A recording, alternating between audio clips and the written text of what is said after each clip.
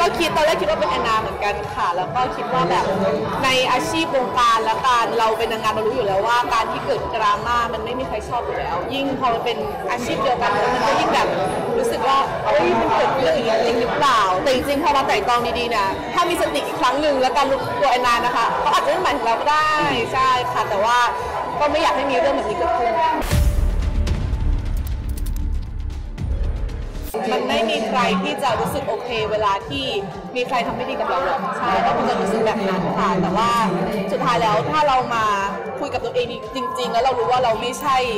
ไม่ได้เป็นคนแบบนั้นทุกอย่างมันคงจะแบบปล่อยได้เร็วมากขึ้นตื่นเต้นค่ะตื่นเต้นแล้วก็ภูมิใจมาก วันนี้ก็เป็นแถลงข่าวแล้วก็ที่เราแอนนาก็มาร่วมเหมือนกันเป็นสีแดงวันนี้ใครจะไม่หรือเปล่าค่ะก็ คิดว่าปีนี้น่าจะสนุกเหมือนปีที่แล้วค่ะ เตรียมตัวดูแลรุ่นน้องยังไงบ้างก็ยินดีให้คำแนะนำหมดเลยค่ะ แต่ว่าสุดท้ายแล้วอยากบอกรุ่นน้องทุกคนว่า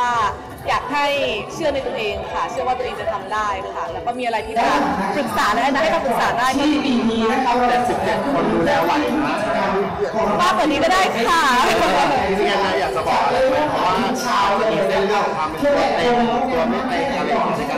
ทำ สุดท้ายแล้วค่ะในการประกวดนางงามเนี่ยมันไม่ได้เกี่ยวเลยว่าคุณเป็นตัวเต็งไม่ใช่ตัวเต็งหรือเปล่าในก่อนที่จะประกวดนะคะเพราะสุดท้ายแล้วเขามองระยะเวลาในการเก็บตัวมากกว่าว่าคุณชายแสงออก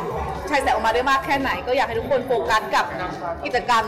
ของกองแล้วก็ทำให้ดีที่สุดนะนะสุดท้ายมันก็จะค่อยๆ เปลี่ยนประกายความเป็นตัวคุณออกมาอ่าประมาณช่วงๆใกล้ๆแล้วกันอันนั้นเชื่ออะไรสำคัญที่สุด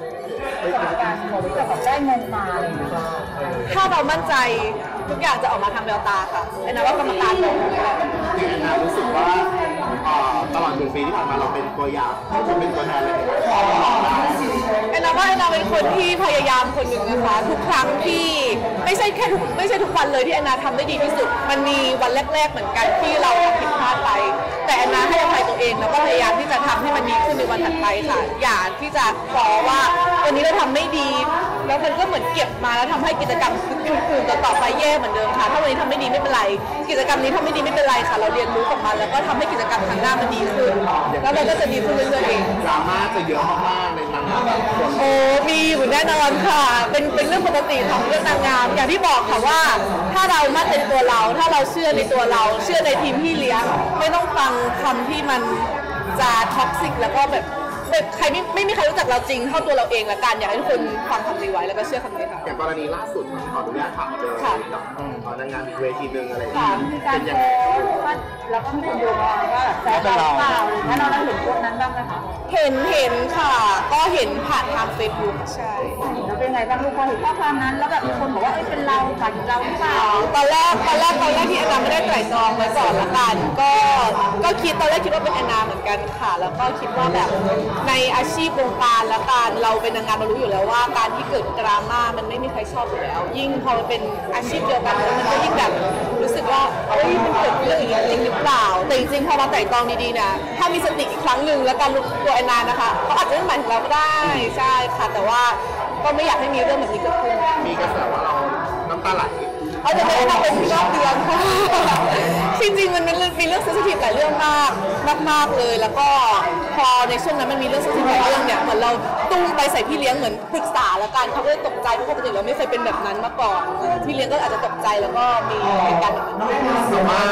แม่ปุ้ย take action เหมือนว่าแบบพอน้ำเราน้ำตาไหลเราร้องไห้แล้วก็เหมือน take action ก็เหมือนแม่กับลูกแหละนะว่าใช่ค่ะสุดท้ายแล้วเขาก็take care เราอยู่แล้ว จริงๆ แม่ปุ้ยก็พูดในเรื่องของการ support ผู้หญิงด้วยกันค่ะ ก็อย่างที่บอกว่าดราม่าแบบนี้ไม่ไม่ควรที่จะกลับไม่ได้ร้องไห้เขาเคสนี้ใช่ไหมมันมีหลายเรื่องค่ะตอนนั้นใช่ใช่แต่ตอนนี้ก็ดีขึ้นแล้วค่ะหมดรอบเดือนแล้วค่ะฮอร์โมนฮอร์โมนฮอร์โมนวัยว้าวุ่นหรือว่ามันจะจบแล้วอ้าวมันจบไปเลย อ่างั้นคำถามสุดท้ายจบเลยประมาณเลยอ่าโอเคถ้าเกิดสมมติว่าเขาหมายถึงเราจริงๆค่ะเราเสียความรู้สึกไหมเพราะว่าจริงๆเราก็ไม่ได้อะไรกับเขาเลยไม่ได้ไม่ได้แบบแบบไม่ได้ยุ่งเกี่ยวเลยก็เป็นปกติค่ะในชีวิตของนางงามไม่ใช่ไม่ใช่แค่นางงามคนปกติแหละมันไม่มีใครที่จะรู้สึกโอเค เวลาที่มีใครทำไม่ดีกับเราหรอกใช่ก็คงจะรู้สึกแบบนั้นค่ะแต่ว่าสุดท้ายแล้วถ้าเรามา คุยกับตัวเองจริง ๆ แล้วเรารู้ว่าเราไม่ใช่ ไม่ได้เป็นคนแบบนั้นทุกอย่างมันคงจะแบบปล่อยได้เร็วมากขึ้น